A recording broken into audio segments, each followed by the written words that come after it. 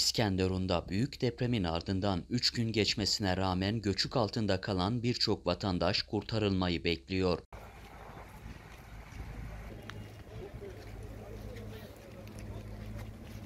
Türkiye'nin birçok yerinden arama kurtarma ekipleri, komando birlikleri İskenderun'da enkaz kurtarma çalışmalarına destek veriyor.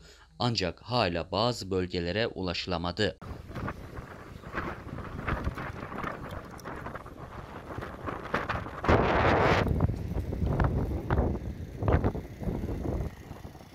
Sahil apartmanı yaşanan depremde yerle bir oldu. İçerisinde bulunan vatandaşların arama kurtarma çalışmaları hala devam ediyor.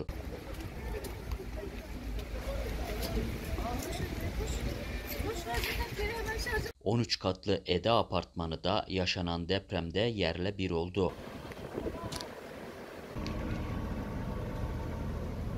Binada yaşayanların bazıları ilk anda kurtarılırken enkaz altında kalan vatandaşların birçoğunun cesedi çıktı.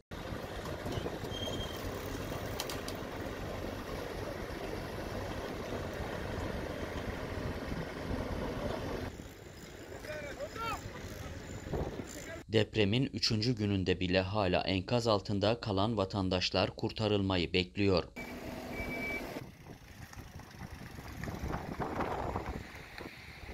Fener Caddesi, Pac Meydanı, Çay Mahallesi, Büyük Çarşı İşhanı gibi binalar yerle bir oldu.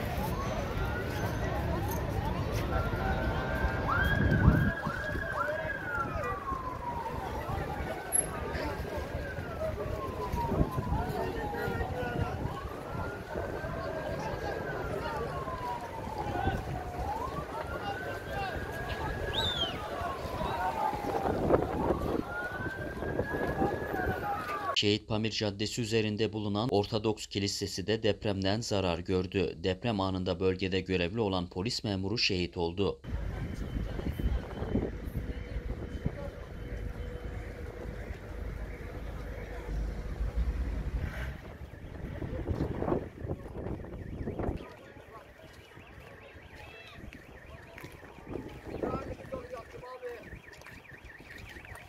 Perişan olduk perişan.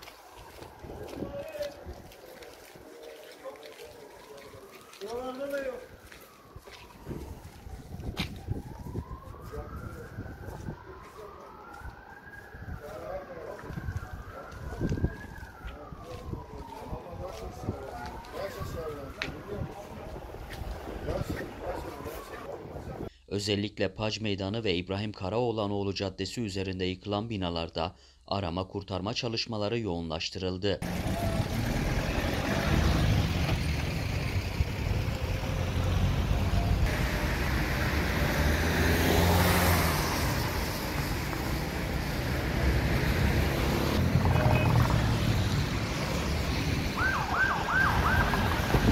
Birçok vatandaş ise yakınlarına ulaşmakta sorun yaşıyor.